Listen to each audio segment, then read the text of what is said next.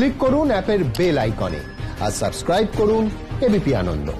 সব সময় থাকুন খবরে।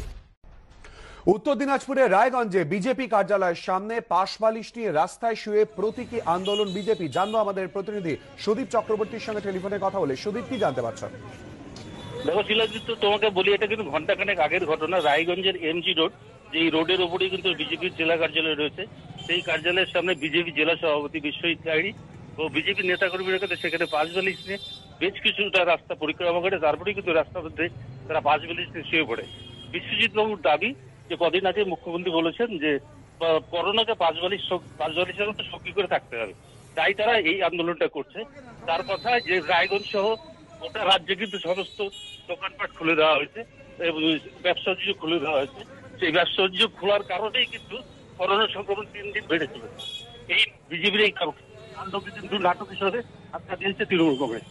জেলাদিত্য। ধন্যবাদ সুদীপ।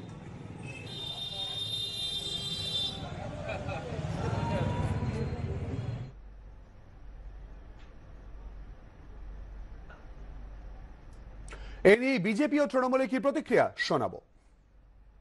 এখানে শুয়ে থাকার কারণ আমাদের দিদি বলছেন যে করোনা থাকবে। তাদের সমস্ত কিছু উনি ওপেন করে দিয়েছেন দোকানপাট সব খুলে দিয়েছে সব জায়গাতে সোশ্যাল ডিস্টেন্স ভঙ্গ হচ্ছে। আর বলছে যে, এটা খোলা থাকলে কোনো অসুবিধা নাই। নবান্নে উনি ঘোষণা করছেন যে, আমি ভ্যাকসিন তৈরি করে দিয়েছি, সারা বিশ্ব কোনো রাষ্ট্র ভ্যাকসিন তৈরি করতে পারেনি। আমি যে ভ্যাকসিনটা দিচ্ছি, তাতে করোনা ধরবে না। উনি বলছেন যে, কোল বালিশ নিয়ে ঘুরতে হবে। আর কোল বালিশ ভ্যাকসিনটা যে সাথে রাখা যায়, করোনা সংক্রামক নাকি তাকে অ্যাটাক করতে পারবে না। তাই দিদি যখন বলে দিয়েছেন, তার নির্দেশ তো মানতে হবে, আমাদের রাজ্যের মুখ্যমন্ত্রী। তাই কোল বালিশ নিয়ে শুয়ে আছে আমরা, যে করোনা ধরবে না।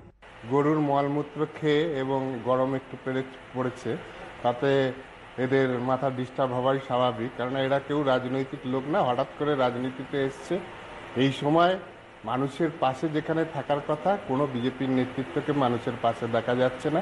মুখ্যমন্ত্রী এবং সরকারের মধ্যে দিয়ে এবং আমাদের দল দলের বিভিন্ন নেতৃত্ব বিভিন্নভাবে মানুষের পাশে দাঁড়াচ্ছে। আর এরা এই মুহূর্তে যখন কিছুই করতে পারছে না, রাস্তার মধ্যে শুয়ে নানা রকম নাটক করে শুধুমাত্র খবরে আসার প্রচেষ্টা